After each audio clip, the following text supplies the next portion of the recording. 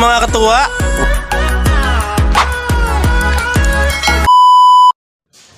Hello mga katuwa at welcome back to my channel at nandito na naman kayo sa vlog ko saan bida ang tuwa. Yan, syempre itong hawak ko nito ngayon ang gagawin ko. Maggagadget tayo ng mais at magluluto tayo ng ginisang mais. Yan, samahan nyo kami. Huwag nyo kalimutan mag-like, share, and subscribe. Yan, simulan na natin ang ating paggagadgad. Yan mga katuwa, sisimulan na natin gadgarin ang ating mais. Yan. Paggadgadgad na ang mais ay para kang naglalaba. Yan. Ha? Matalsik ba? Ano eh. Okay na to. Yan.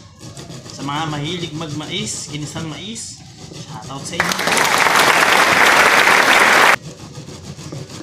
Yan, pati ang tiyang ko umaalog. Yan. Sarap ang mais, lalo kapag masarap ang luto.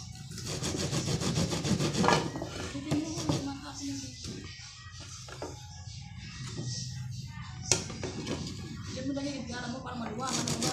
Okay na yan, baka mabasag. Wala. Ito kasi hindi maglalaro yung ano niya. Yan. Gad, gad, gad, gad. Hanggang sa mga gad, gad ang daliri. Hindi pa.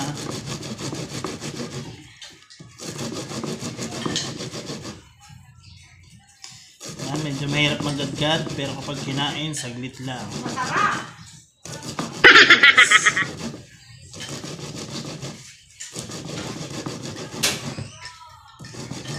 Sakit sa braso.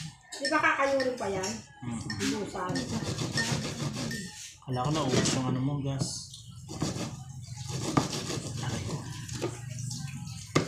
Bagay, konti lang ito pag naluto eh. Oo, konti lang din yan. Ilang piraso ba yan? 2, 4, 6, 7, 7. Kakaunti lang pag naluto yan. Damihan mo na lang ulit sa hog sa mga kilong baboy. Mo sa kilong baboy, hipon ata sa sahong. Ah, Kilong baboy.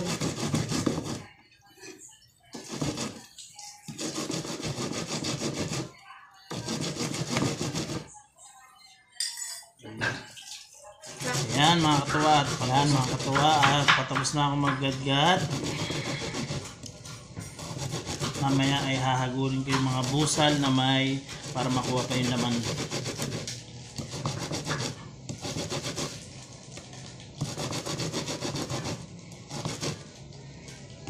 Konti lang. Konti lang. Na. Na mo kukunti oh. Hindi, kung may stock lang naman sa inyo eh. Ole. Naula. Basta kain pa ba? Sa libis ano? Ayan, dahil kukunti pa, dadagdagan natin ngayon Ah, yan. konti na. Magkano ba sa supo na ganyan? Pagkayod, ay, ba't naman tayo?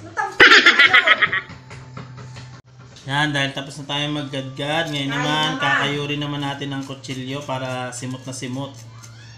Sumisiksik liglig. Walang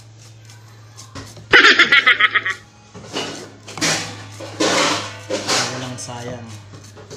May nagwawala ho sa kabilang bahay. Kanina binuksan ang tinapay kita. Ano sa'yo? Ano yun? Ano? Nasa na? Kainin mo na. Ah, mag-isa. Dahil ito. Ayan, unahin natin ng bawang. So, inano ko na lang po sa kasirola para diretso ano na po yan. Eh, kung sa kawali po kasi para hindi na isasalid sa kasirola. Ayan, medyo papupula-pulayin lang muna natin yung bawang. Sunod natin ang sibuyas, mga katuwa. Ayan.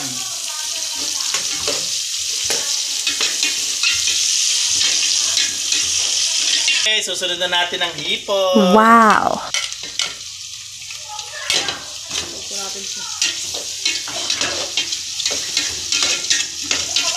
Siyempre, susunod na natin ang ating ginis ah, ginagyan na mais. Ayan, umuusok-usok-usok-usok pa po. Ayan.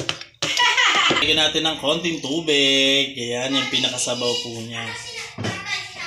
Ayan, dagdagan pa po natin ng sabaw para mas masarap at masabaw. At syempre, lalagyan natin ng magic sarap!